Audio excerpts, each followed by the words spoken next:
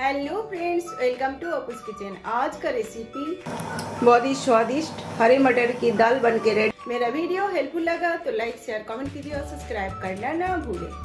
हरे मटर की दाल बनाऊँगी तो आधा किलो हरे मटर लिया, छिलका निकल के रखा। पहले ग्राइंडर का जार में दरदरा पीस के रेडी करूँगी।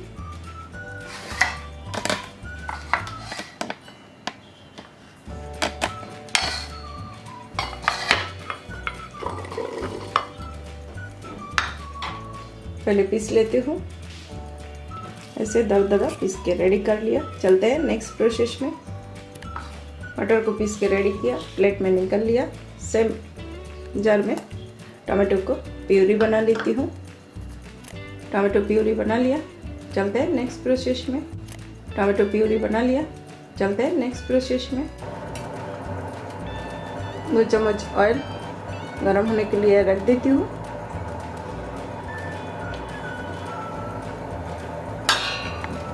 ऑयल गर्म होते तेज़पत्ता एक दालचीनी और एक इलायची ऐड कर दिया।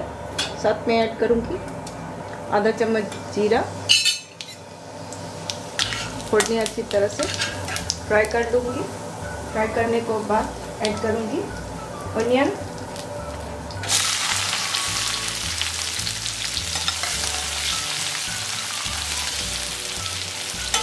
ऑनियन को कलर चेंज होने तक अच्छी तरह से फ्राई कर लूँगी।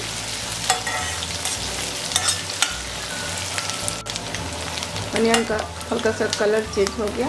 अभी ऐड करूँगी जिंजर गार्लिक पेस्ट एक चम्मच।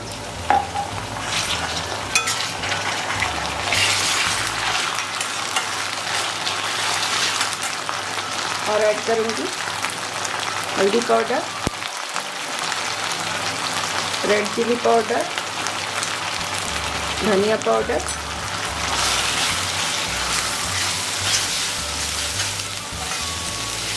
ड्राई मसाला के साथ ginger garlic paste raw taste जाने तक अच्छी तरह से फ्राई कर लेती हूँ। जैसे ही फ्राई हो गया, उसमें ऐड करूँगी टमाटो का प्यूरी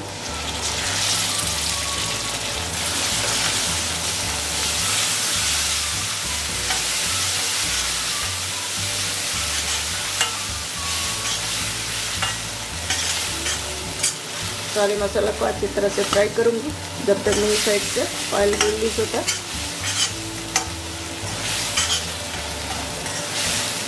देख ही सकते हैं, बहुत ही अच्छा ऑयल रिलीज़ हो गया। सारे मसाला अच्छी तरह से फ्राई हो गया। तो अभी ऐड करूँगी जो दर दरा पीस के रखा था, हरी मटर को। हरी मटर को दाल खाने में बहुत ही स्वादिष्ट होता है। अभी सारी मसाले के साथ हरे मटर को फ्राई कर लूँगी।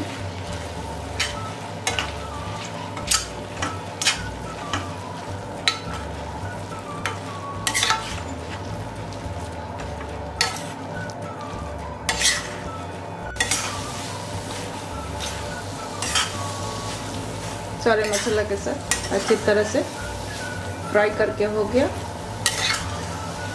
अभी ऐड करूँगी पानी। एक दाल बनाऊँगी और इसके लिए ज़्यादा ही पानी ऐड करूँगी, दो ग्लास।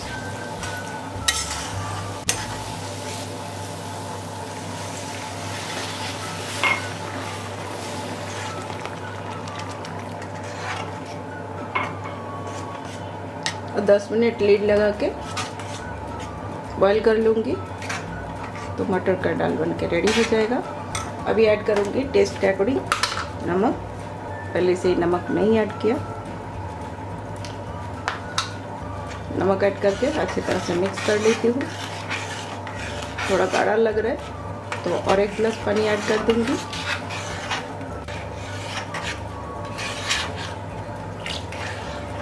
और थोड़ा पानी ऐड कर दिया। बॉयल होते होते और बड़ा हो जाएगा।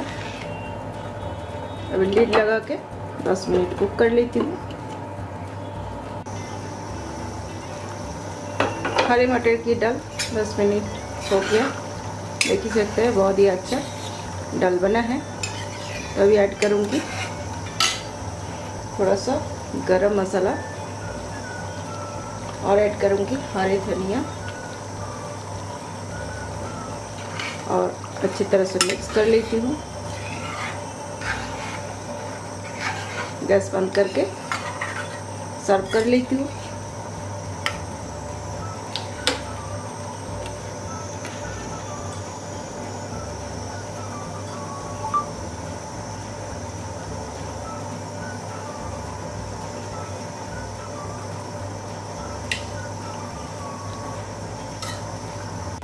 बहुत ही स्वादिष्ट हरे मटर की दाल बन के रेडी हो गया। एक बार ज़रूर ट्राई कीजिए और आप लोग के एक्सपीरियंस मेरे से शेयर कीजिए। फिर मिलते एक न्यू रेसिपी के साथ। तब तक के लिए बाय थैंक्स फॉर वॉचिंग